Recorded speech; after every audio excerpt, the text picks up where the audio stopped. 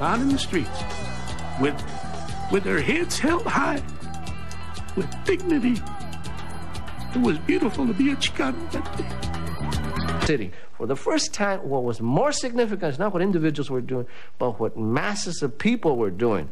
And that's what the walkouts demonstrated. Our movement was not a movement of, of, of cadres, of individuals, of organizations, but of mass involvement.